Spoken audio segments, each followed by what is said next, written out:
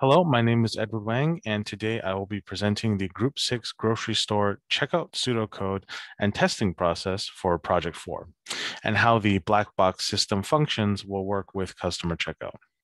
So first, we'll go over the pseudocode. As you can see on the left side, we have a total of 11 steps with several sub-steps. The first, approaching the self-checkout register. Number two, clicking the start button. Number three, picking up an item to scan Four, deciding whether the item is A, non-perishable or B, perishable. Now for non-perishable items, which have a SKU barcode, you simply scan the barcode before proceeding to step five. Has each item been scanned, yes or no? If uh, yes, continue to step six. If no, go back to step three.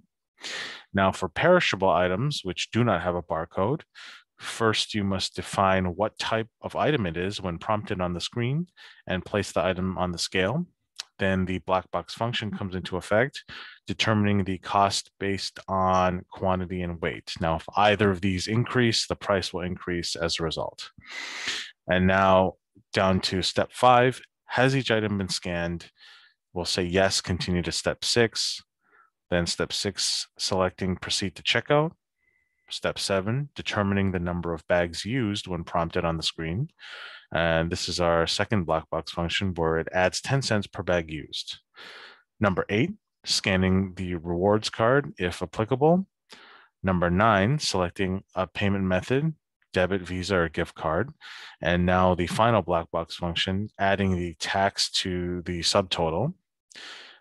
And step 10, completing payment, collecting the receipt, bags, and exiting the store, and then ending at step 11. So moving on to the flow chart, on the right, you can see that our steps, uh, again, one for approaching self-checkout, two, clicking the start button, three, picking an item to scan, four is our first uh, decision, where we separate the perishable and non-perishable items. And then the sub steps for non-perishable, scanning the item before decision at uh, step five, if each item has been scanned. The sub steps for perishable items, indicating the quantity and weight, so the black box function can calculate them. And then ending up at step five, where we say yes to uh, has each item been scanned, we select proceed to checkout at step six indicating the number of bags used when prompted on the screen for step seven. Another black box function where the price of bags will be 10 cents per bag. And scanning the reward card if applicable at step eight. Step nine, selecting the payment method, again, debit, Visa, gift card. Our final black box function, adding the subtotal to the uh, taxes completing payment, collecting receipt and bags, and exiting the store at step 10, and ending the flowchart at step 11.